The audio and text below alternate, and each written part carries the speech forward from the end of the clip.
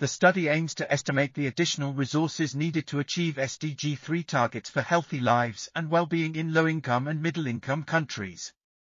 It develops a framework for health systems strengthening, considering for service delivery platforms and two scenarios with varying levels of ambition.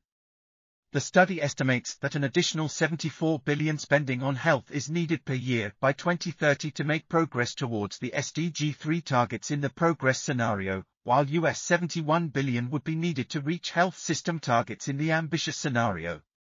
In the ambitious scenario, total healthcare spending would increase to a population-weighted mean of 71 per person across country contexts, and the share of gross domestic product spent on health would increase to a mean of 7.5%.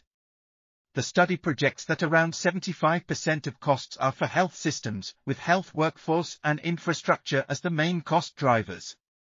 Despite projected increases in health spending, a financing gap of 0 to 54 billion per year is projected.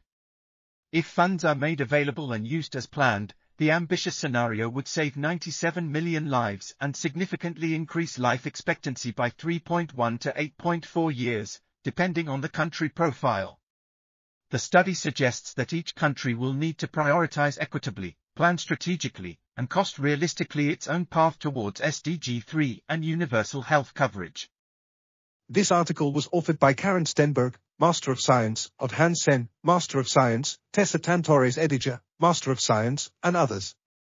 We are RTCL.TV, links in the description below.